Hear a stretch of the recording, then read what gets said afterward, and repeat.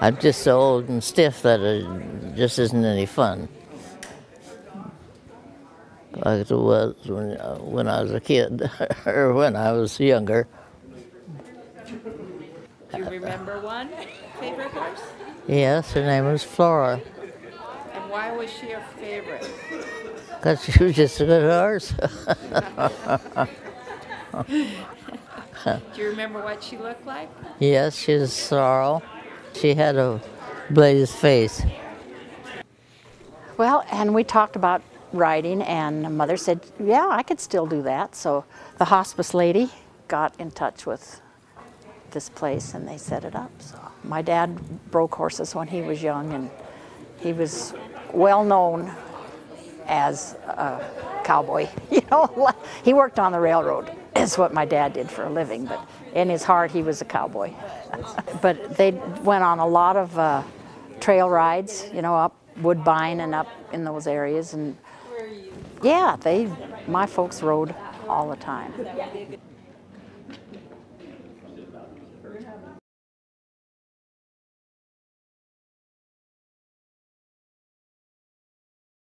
Cowboy, you know, he worked on the railroad, is what my dad did for a living, but in his heart, he was a cowboy. but they went on a lot of uh, trail rides, you know, up Woodbine and up in those areas. And yeah, they.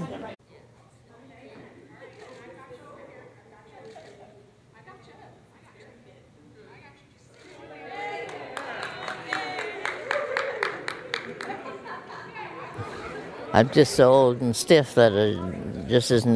Riding and mother said yeah i could still do that so the hospice lady got in touch with this place and they set it up so my dad broke horses when he was young and he was well known as a Favorite.